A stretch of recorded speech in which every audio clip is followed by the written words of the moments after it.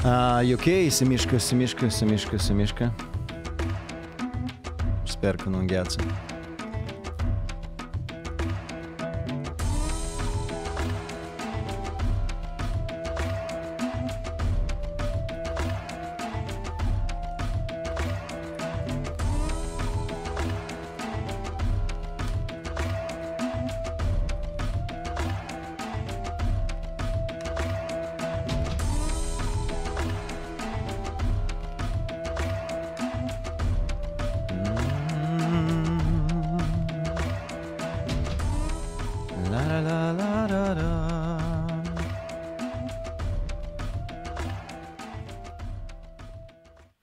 Este sunet.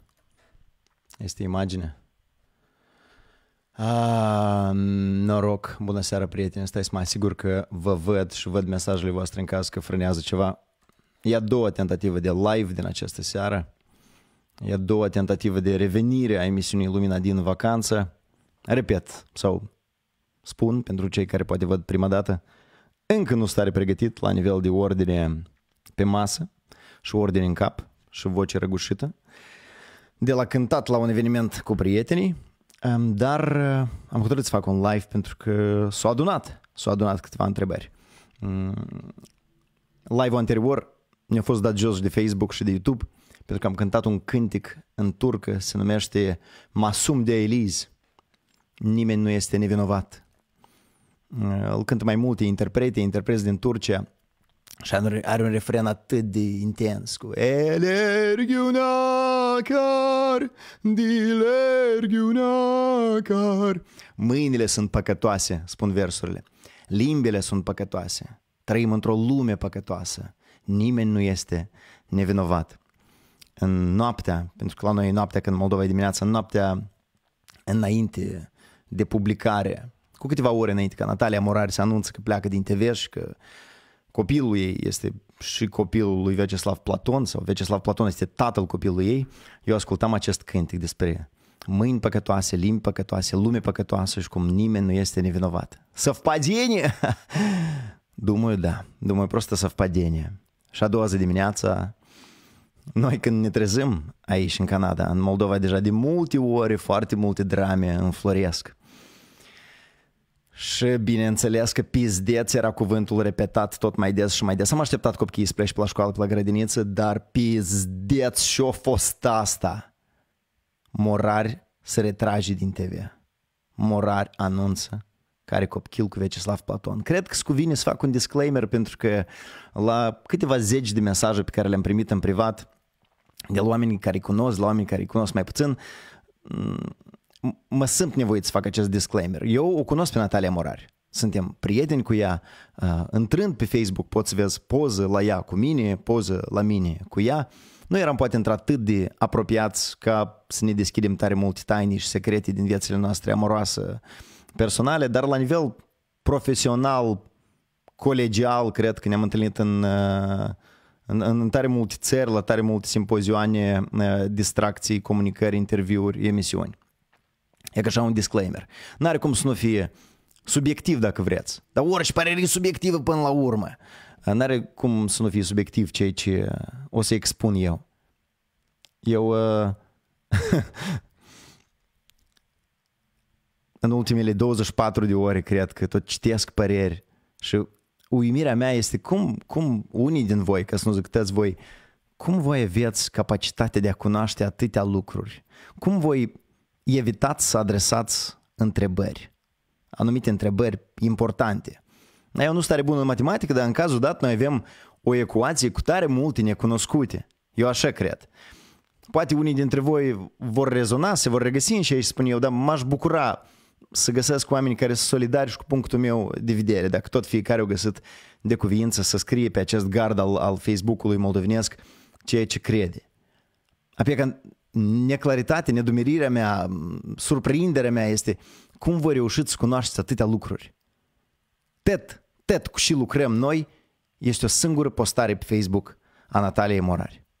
Și de acolo urmează să tragem niște concluzii sau de acolo urmează să tragem mai degrabă niște întrebări care ne-ar elucida o leacă mai departe toate tainele și misterele din spate Hai să facem asta împreună cu voi, eu tare vreau. Nu, nu putem pe timp de COVID să ne întâlnim cu toți împreună în sel de spectacole, trăim pe multiple continente, dar hai să ne folosim de ocazie, de minunea lui Zuckerberg, de minunea acestui Facebook și să citim împreună postarea de ieri a Nataliei Morari.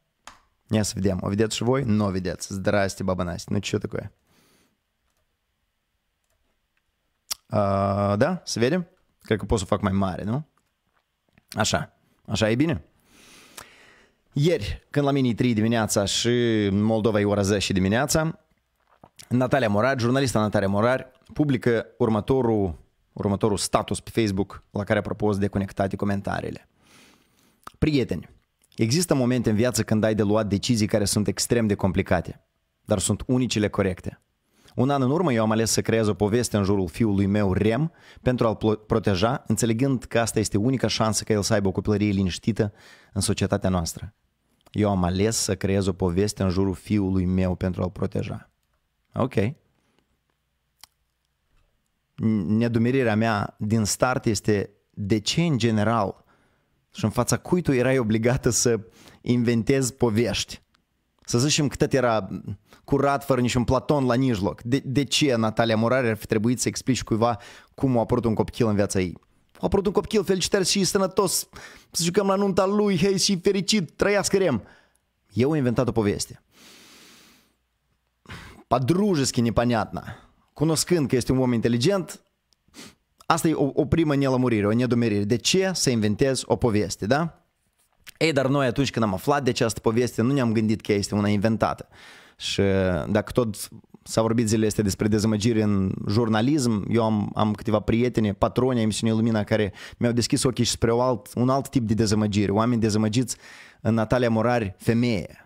Pentru că ea, apărând în public, spunând despre cum a apărut Rem pe lume, a dat aripi multor femei, a dat curaj multor femei să creadă că poate să iasă uneori din tipare, să nu se lasă stigmatizate de copil din flori sau copil din neprobietă și așa mai departe.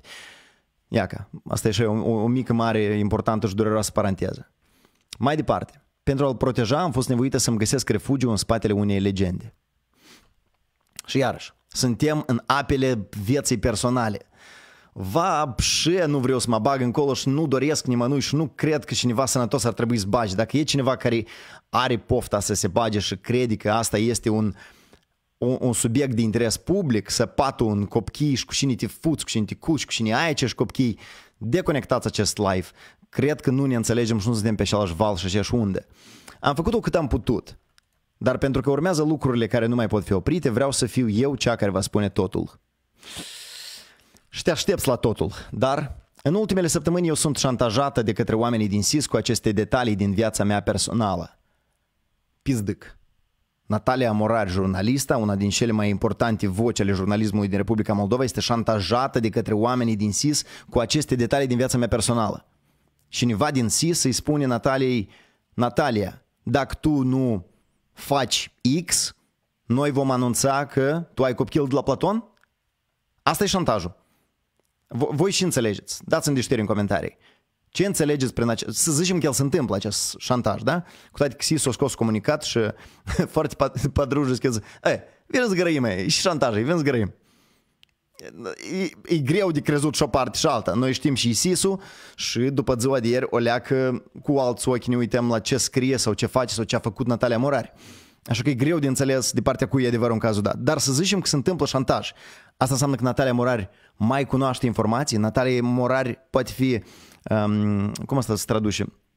În, în, um, să, să, să dăuneze SIS-ului cumva prin anumite acțiuni și informații, așa încât ei o șantajează? Ce se întâmplă? Ce este la mijloc? E că fără această informație, cum poți mai, mai departe să developezi subiectul? Mi se pare o, o informație, o, o lipsa unei informații ca asta, un element cheie în a continua discuția despre cazul în general a Nataliei Murai și al Platon. Se dorește supunerea mea ca jurnalist, dar asta nu va fi niciodată. Nu, ca bă, mii de oameni cred că de fapt supunerea Nataliei Morari ca jurnalist a fost post această postare și revelație. Așa că probabil pentru mulți asta s-a întâmplat căderea ei ca, profesioni, ca profesionist, da? ca om din jurnalism. Ironia sorții este că asta sunt tot acei oameni care au slujit cu dedicație și pe timpul lui Plahotniuc. Tot ei sunt cei mai harnici și astăzi. Ce este tot fragmentul ăsta despre SIS? Un atac la SIS, un atac indirect la PAS și Maia Sandu. Voi și credeți și înțelegeți din asta, pentru că eu tare puțin cunosc. Pentru mine asta sunt necunoscute. Asta e o ecuație cu da, fighi și necunoscute. Și după asta, catleta de aur. Tata lui Rem este Veceslav Platon. Bă, n-ar trebui să intereseze, dar și o declar că să nu mai există loc de niciun fel de șantaj în privința mea și a fiului meu. N-ar trebui să ne intereseze cu cine are copii, câți copii, Natalia Morari sau orice alt om concetățean. Dar, când tu pui una din cele mai importante voci din jurnalismul moldovenesc, alături de un simbol a corupției, raiderul numărul unu din CSI și Просто o iebucică de cresalan, uitați-vă la dânsul, scuzați, poate asta e părerea mea personală, dar cum poți, nu cum poți, nu te uiți la fața lui și zici, Ioperlei, mliați, mliați, nu, nu poți. Dar cineva poate, cumva ceva s-a întâmplat și poate, dacă e să credem cuvintelor. Tata lui Rem este Vecislav Platon. Cumva, din sperma lui Platon, a ajuns Rem în Natalia Morare, ca și un detaliu personal noi cunoaștem din acest status. Понятно. Mulți dintre voi știu, știți, că eu des numeam TV8 un fel de primul copil al meu. Înțelegând că prin mine va fi lovit și el, stai leacă, prin tine va fi lovit și el, Natalia. Am, trebuie să ne oprim și aici, leacă. Am luat unica decizie corectă și anume să fac o pauză de emisie și să ies temporar din Consiliul de Administrație al televiziunii despre ce am anunțat ieri colegii.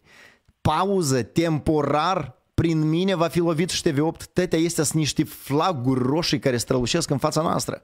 Pentru că tu auzi, tata lui Rem este Vecislav Platon și tu îți amintești că Natalia Morare a făcut emisiune pe 24 noiembrie cu Vecislav Platon, a patra sau a treia emisiune din câte eu mai avut e cu Vecislav Platon și în închisoare și în platou emisiunii. Și aici, dacă stăm să calculăm că Rem e născut în aprilie, 12 aprilie sau când a anunțat nașterea, prin noiembrie trebuie să fie gravidă.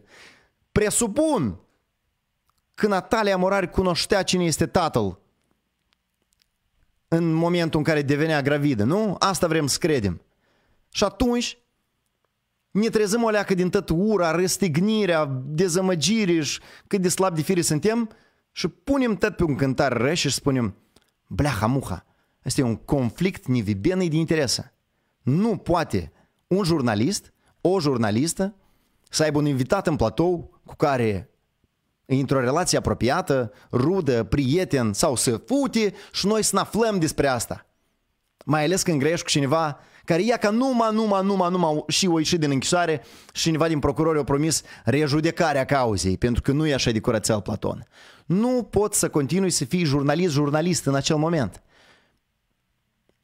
Pentru că Amu, uitându-ne la aceste imagini, uitându-ne la această emisiune, Amu, n-ai cum să nu te uiți cu o lupă nouă. Eu nu m-am pornit emisiunea și primele secunde din emisiune îs lipsătoare de cuvinte din gură. Vă invit să urmărim câteva secunde.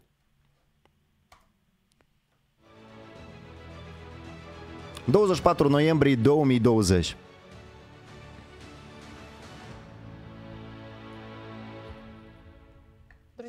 Вечер. Сегодня программа «Политика на русском языке», как всегда, по вторникам. Сегодня у меня в гостях Вячеслав Платон, и у нас были творческие споры в редакции. Господин Платон, как вас представить? Так и просится, контроверсатулум диафачер. Как вас представить? Ому, îl cunoaște destul de aproape, din câte ne dăm seama din postare pe Platon, întreabă как вас представить. Încă un flag. Flag roșu.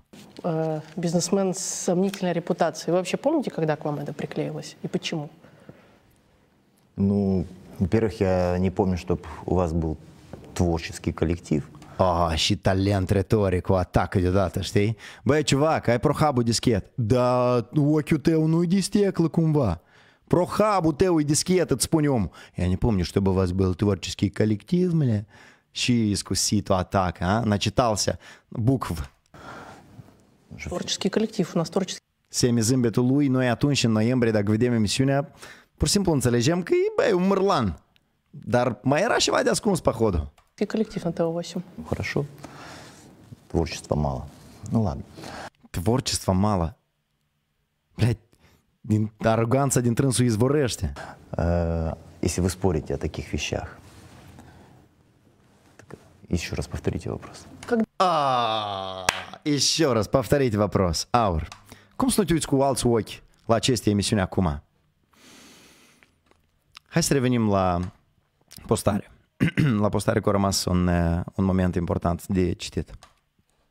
Așadar, am încheiat cu asta, da? Mulți dintre voi știu că eu des numeam TV8 un fel de primul copil al meu. Înțelegând că prin mine va fi lovit și el, am luat unica decizie corectă și anume să fac o pauză de emisie și să ies temporar din Consiliul de Administrație al televiziunii despre ce am anunțat ieri colegii.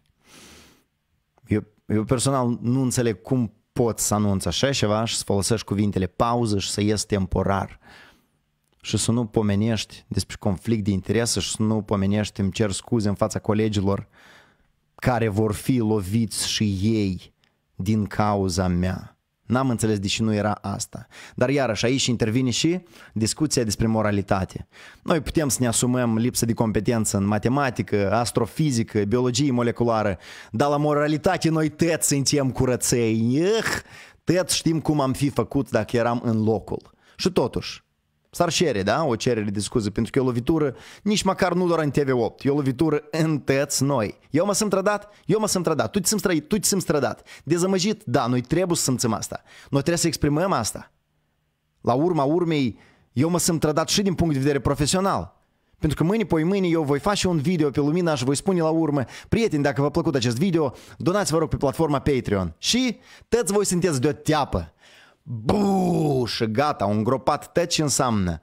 Granturi, cer granturi, cam orari, cer bani pe Patreon, cam orari. Tot se poate de pus ușor într-o oală, pentru că există alb și negru, mai mult culori pe internet. Nu există. Конечно, că mă sunt trădat. Dar noi și-am uitat cumva ce înseamnă să fim trădați?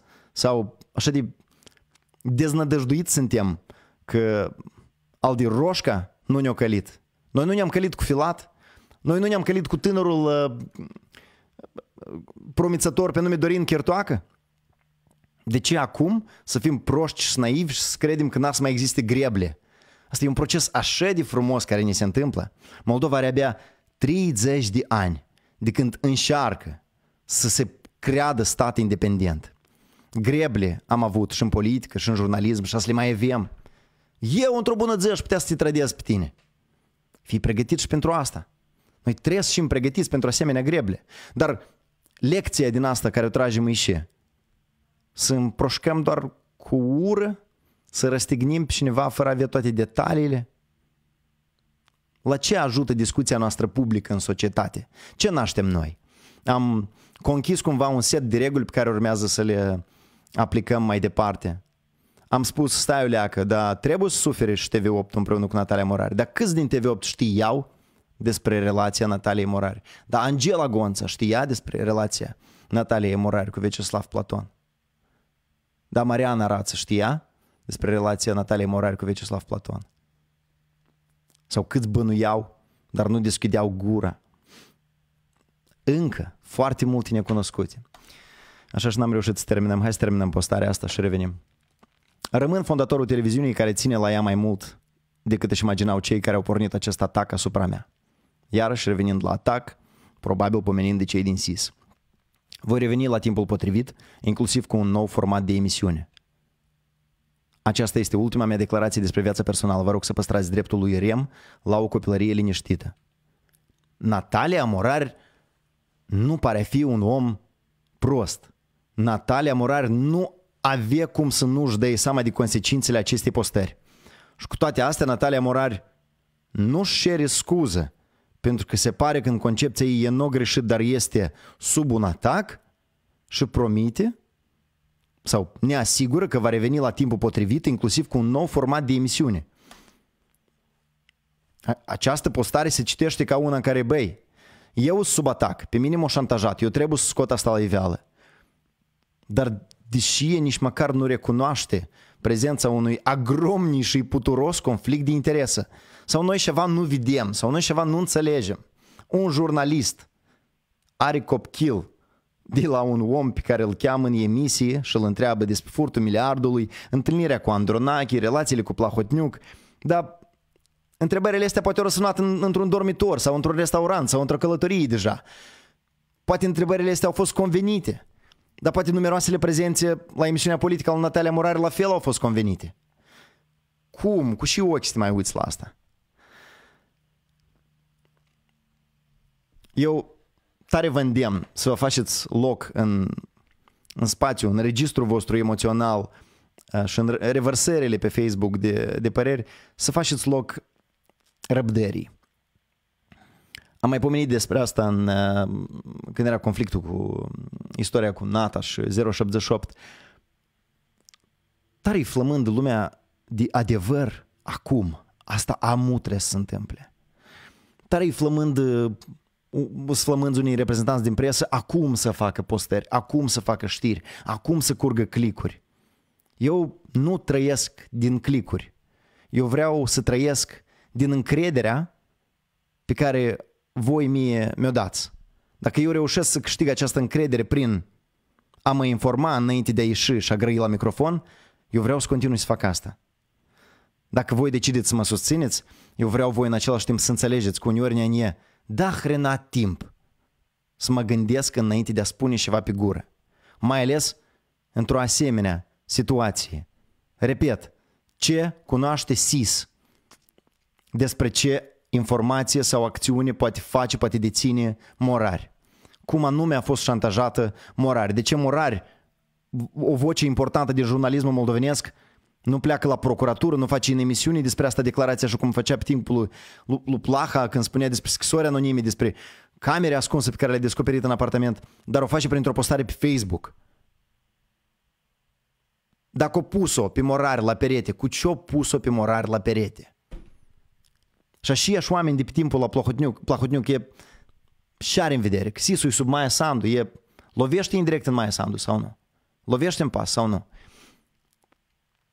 Repet, pentru mine asta semne de întrebare care nu mă fac pe mine să pot să fiu în stare să conturez o părere clară și să pot să expun clar ce s-a întâmplat. Noi putem să enumerăm multitudinea de păreri care au fost. Suportul din partea unor jurnaliști, atacurile dure din partea altor jurnaliști.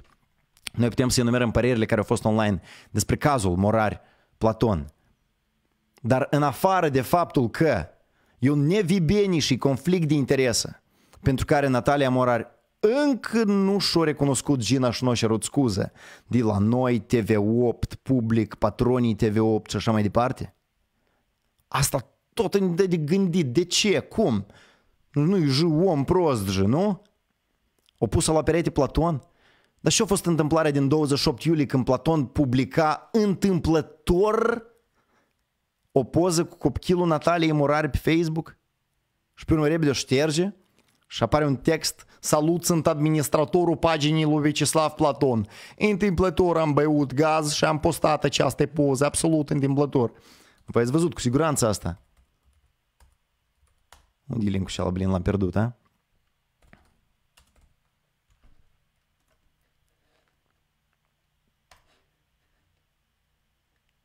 Pe 28 iulie, sub 27 iulie, Вячеслав Платон за свободную Молдову, публика.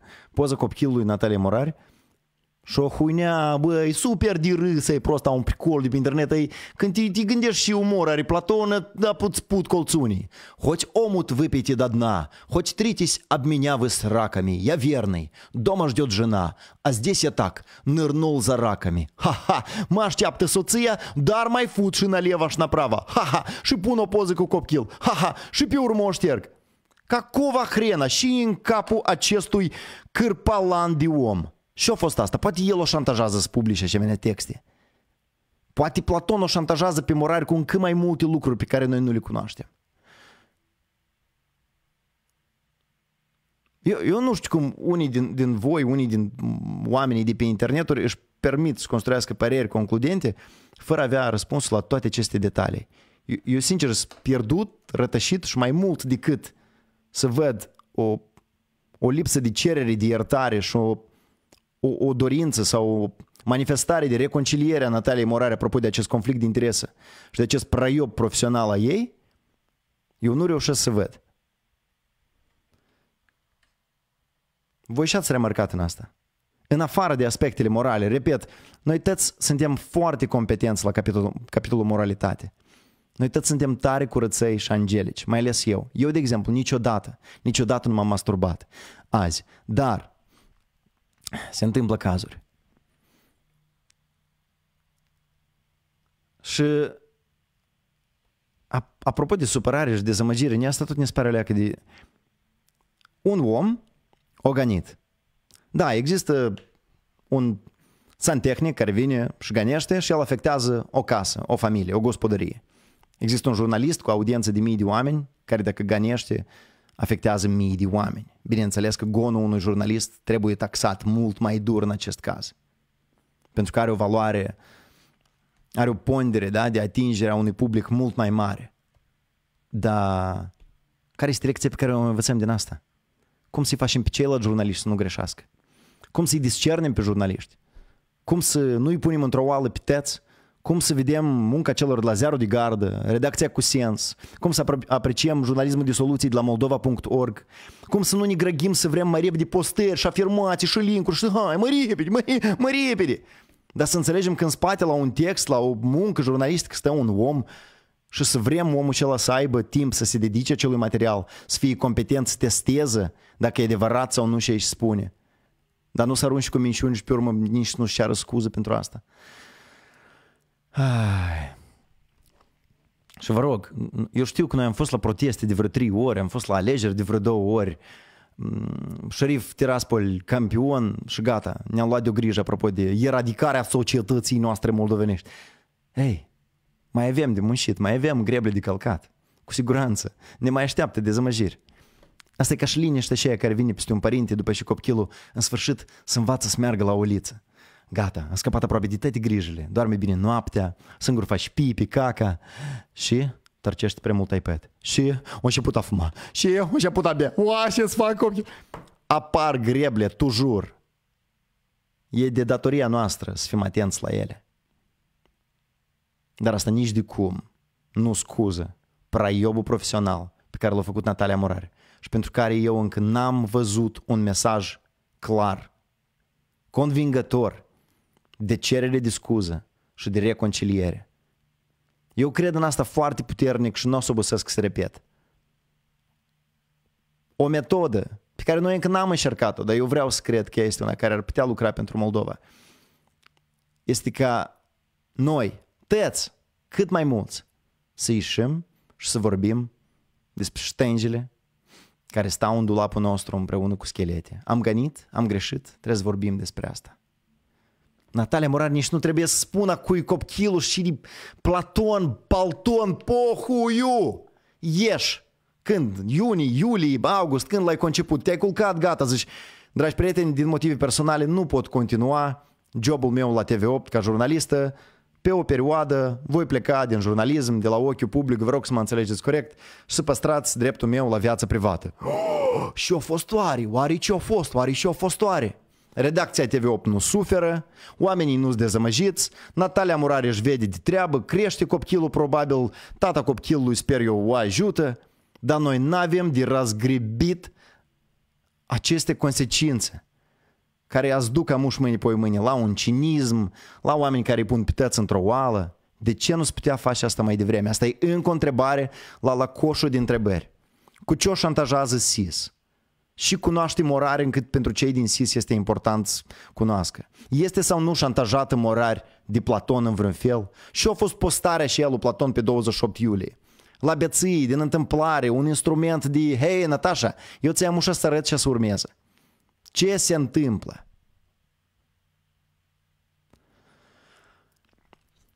Iată, mai multe întrebări decât răspunsuri în acest live, dragi prieteni. Vreau să vă mulțumesc pentru atenție. Sper că încă se mai vede și să aude.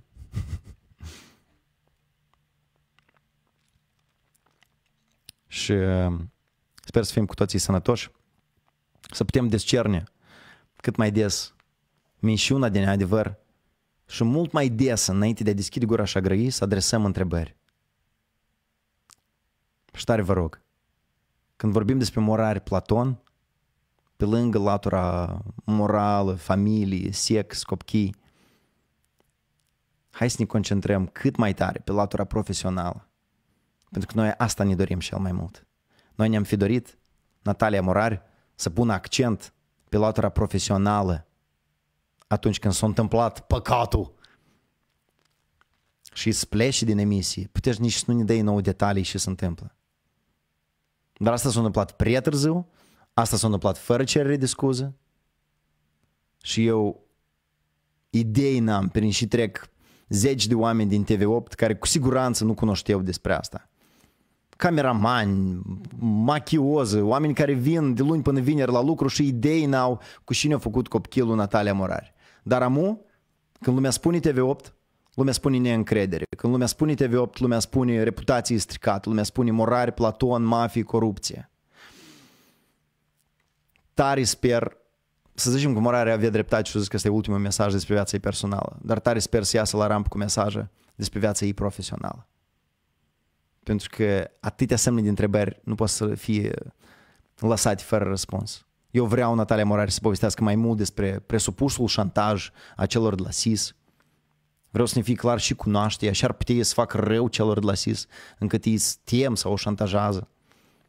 Și vreau să înțeleg ce a împiedicat-o pe Natalia Morari să demisioneze, să iasă din jurnalism o lecuțică mai devreme decât ieri. Sper uh, că și voi vă regăsiți în acest mesaj, sper să aud vocile, părerile voastre mai departe în, uh, în comentarii. Vă cuprind, vă doresc multă sănătate. Internetul grăiește pentru cei care cu multă ardoare au spus Andrei, ați înghițit apă în gură, Andrei, ați pus gură în apă, Andrei, ați pus apă în gură, ați pus gură în gură, gură în Andrei, Andrei. Hei, internetul grăiește iese pe 17 septembrie din vacanță. Noi am anunțat patronii despre asta, am anunțat și pe Facebook, publicul larg și pe YouTube-ul nostru. Vinerea viitoare o să ieșim din vacanță. Așa că tare vă rog, tare, tare, tare vă rog, încercați să adresați o leacă mai multe întrebări decât texte să scrieți. Sau puteți să scrieți texte, dar e bine să adresați aceste întrebări măcar în cap. Mersi pentru atenție și, cum am spus, interpreta turcă Sezen Aksu. Masum değiliz hiçbirimiz. Masum değiliz hiçbirimiz. Sănătate mai bine. Ciao.